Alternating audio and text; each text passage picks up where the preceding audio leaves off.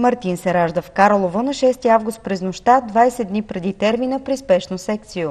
За един час получих 8 см разкритие, но установиха проблем и свикаха по спешност дежурния екип. И ако мога да използвам случая да благодаря на доктор Добрева и доктор Такова, благодарение на тях се роди моя син. На 15-та минута бях в операционната, изключително бързи реакции и висок професионализъм. До Пловдив, ако трябваше да пътувам, не смятам, че щях да стигна на време. Голяма част от ситуациите за лекарите в АГ отделението са спешни и изискват бързи реакции. Идва бременна в 37-38 седмица, гестационна, което означава на термин, с много високо кръвно. По, по логиката на а, касата, ние може да лекуваме единствено консервативно, а най-правилното лечение на термин при много високо кръвно е родоразрешение. Ние трябва, нямаме право да я родоразрешим. Трябва да я качим на линейката и бърза помощ да я транспортира до Пловдив, като има опасност от гърч, от много са осложненията. Пък ние по закон сме длъжни да помогнем. Тоест искаме и не искаме, трябва да я родоразрешим. И касата казва, вие нямате такава пътека, няма да ви платим тая манипулация и тази дейност. През миналата година в отделението се раждат 400 деца. Повече от 60% от населението в община Карлово живее под социалния минимум. Голяма част от бременните дори не ходят на женска консултация, тъй като не са осигурени. Това неминуемо води до по-висок процент недоносеност. Все по-често се налага новородените да бъдат поставени в ковиози, коментира неонатологът доктор Маринова. Отделението разполага с пълно оборудване. Идва жена, която е с пълно разкритие, при положение, че няма тия пътеки, които са ги отрязали на агето, колегите трябва да я качат на линейката и да я транспортират до Пловдив. Минимум 40 минути. В спешна помощ нямат нито апаратурата, нито достатъчна квалификация да поемат реанимацията и осигуряването на жизнените показатели на това дете, ако то се роди в хода на транспорта, а то неминуемо се ражда, да речем на 30 км преди Пловдив. Стигайки до там, то ще е загинало.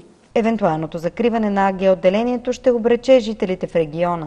Това е единствената болница в Централна България, в един регион, който обхваща 7 общини с население над 100 000 души.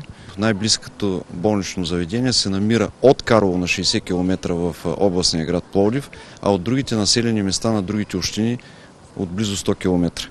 Ръководството на болницата вече обжава в административния съд решението на здравната каса. В понеделник на 6 август беше постановено определение за спиране на предварителното изпълнение на обжалваната заповед, а в сряда 9 август, мисля, че се пада, да, служител на касата се е обадил на главния счетоводител на болницата, болницата все пак да спре да изпълнява акушеро-гинекологичните пътеки, тъй като касата вече била обжалвала това определение.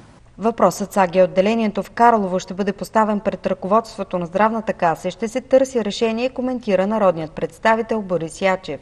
Ще запозная и вице-премьера Валери Симеонов с проблема, тъй като здравеопазването е част от неговия ресурс, ресор.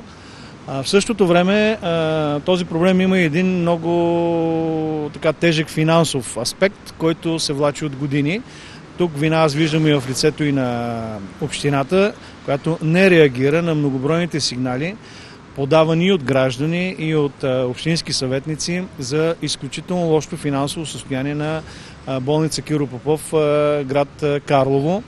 Разбира се, ние ще е, направим всичко възможно да бъде открито възможно най-бързо отново да заработи АГ отделението, но това не означава, че трябва да продължим си затваряме очите, защото ако продължи болницата да бъде в също трагично финансово състояние, не затварят АГ отделението, ще го пуснат. Утре ще затворят някои от другите жизненно важни отделения и хората отново ще бъдат потърпевши. Хората не ги интересува дали някой в общината си е свършил работа, те искат да имат адекватна услуга, независимо дали живее в Карлово, в Пловдив или в София.